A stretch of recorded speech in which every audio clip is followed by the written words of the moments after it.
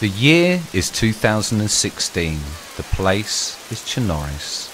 We're still in the midst of a zombie apocalypse like has never been seen before. The zombies, though, they've evolved. They become faster and more bloodthirsty.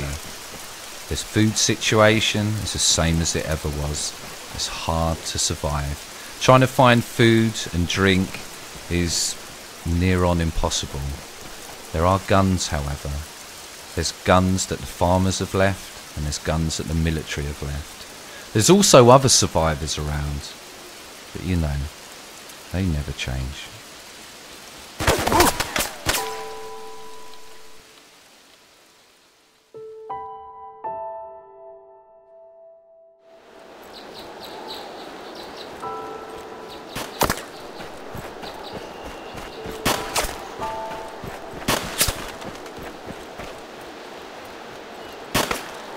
Since the zombie apocalypse, other survivors are trying to find food and clothes around the main urban centres. But really, that's just a dangerous game of cat and mouse. There's always somebody trying to take what's yours.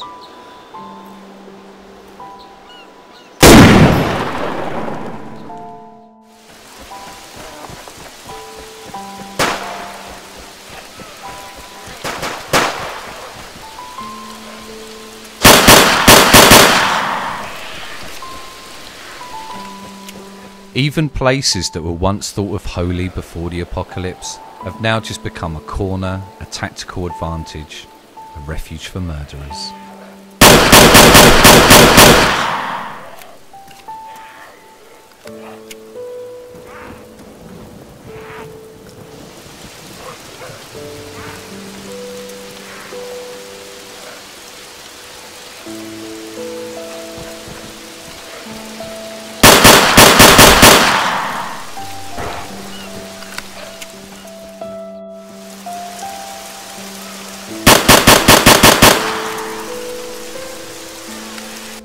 Never used to be this way. When the zombie apocalypse first started, you could trust each other. You was happy to see another human being, another survivor. It almost brought us together in some strange way. A bit like when there's a war in a country, people band together against the zombies. But the longer it went on, the more hungry people got, the more thirsty they got, the more they saw that other survivors were murdering people for what they had. You couldn't trust a single soul. And the people that did trust people, well, there was a 50 50 chance that they were going to die. If you trusted the wrong person and that person was out to kill you and take what's yours, you're done. There's no second chances from that. So, me, I decided not to trust anyone anymore. And this guy that I saw there, to be honest, a few years ago, I would have been happy to say hello, to share our food together. But now, I was just happy that the zombies wanted his flesh more than mine.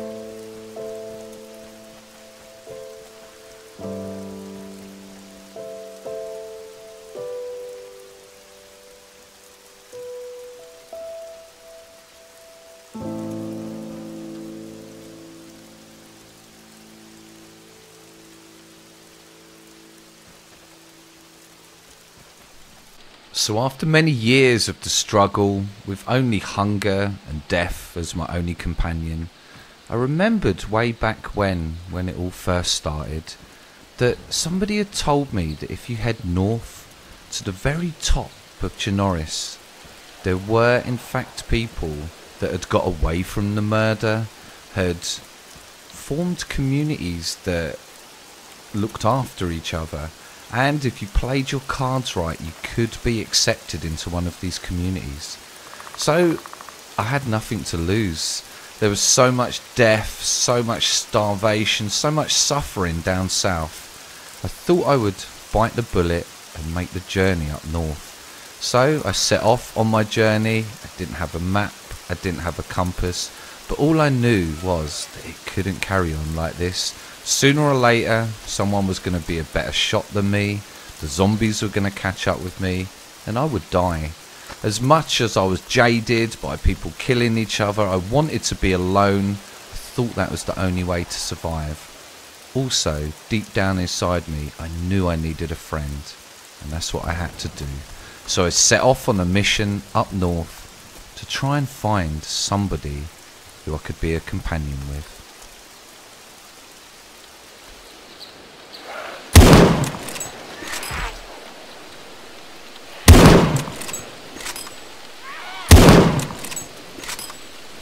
After exploring one of the old ancient castles of Chernarus, I actually found myself a compass, and that was really going to help me to find my way up to a place what I'd heard of called the Northwest Airfield. That place was rumoured to have communities there and people that maybe I could join and I could trust to get away from all this murder and suffering down on the coast.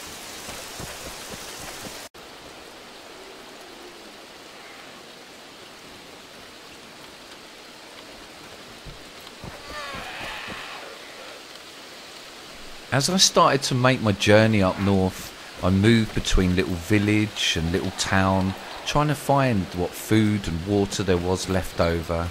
And I started to think to myself, was there really any people up north? Maybe it was just a big old wives' tale, and everybody was just down on the coast trying to survive. And then I started to find signs that people had made it up north. Maybe the dream of actually meeting some friendly people that we could form a community with was going to become a reality. Or maybe the people up north were just as bloodthirsty but better armed than people down on the south coast.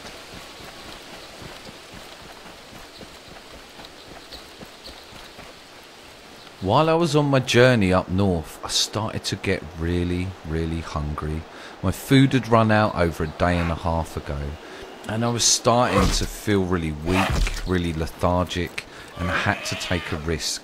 I had to go into one of the biggest towns up north to try and find some food. So I made my way into one of the old abandoned stores there, and all the while I was thinking in the back of my mind, what would I do if I come across another survivor? What would I do? And while I was in the store, started to hear a noise outside. It didn't sound like a zombie. And that question of what I would do if I saw another survivor was about to become a reality.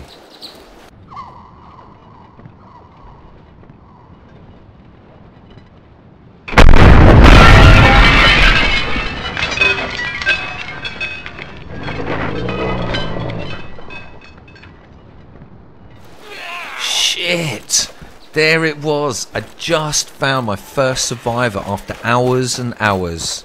And I killed him. I think he shot two at exactly the same time I did.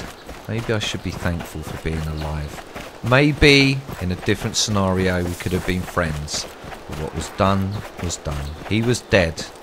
And I needed to go back there and to get his gear. Maybe add some food or some drink to help me survive. But I think the dream of meeting friendly players up north, it was over. After I gathered my composure after shooting that guy, I slowly went back to see if I could loot some stuff off of his body. And that was the beginning of the end.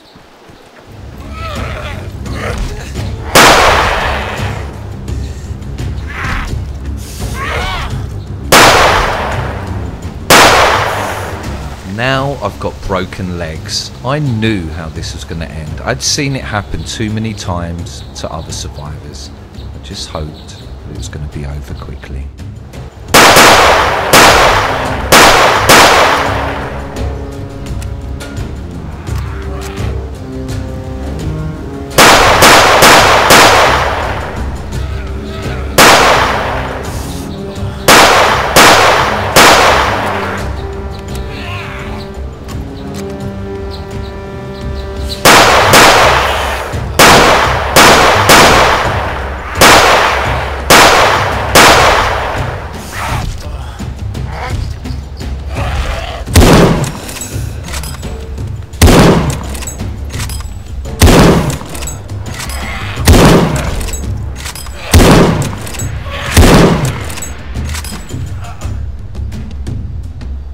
Just bandage up.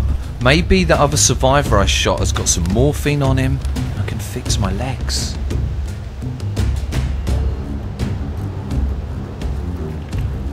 I've just got to make it to the body. I can do this. Maybe I can survive.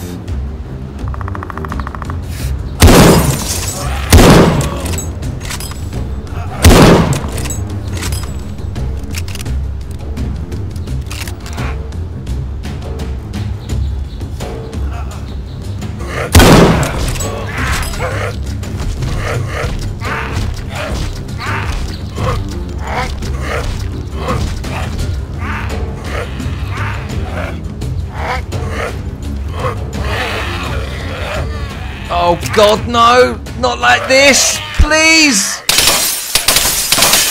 Don't worry, I've got you, buddy.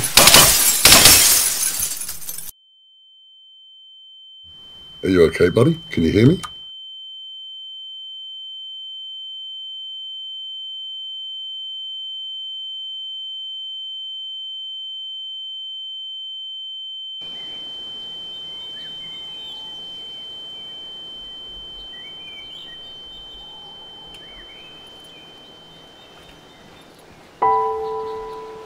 Hello?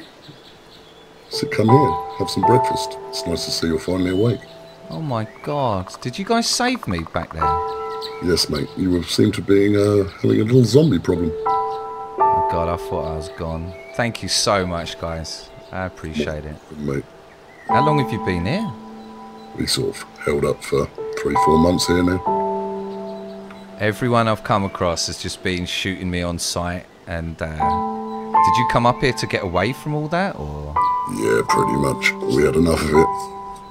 Oh, It's so quiet. good. This place is amazing. Beautiful, isn't it? It's lovely, mate. We used to come here on fishing trips when we were kids. Are we safe here? Is there any bandits around here, or? No, mate, you're in the middle of nowhere. It's lovely. I guess deep down inside people, they are good at heart. And maybe it's just circumstance that changes people. Or maybe it's me that's changed from now on.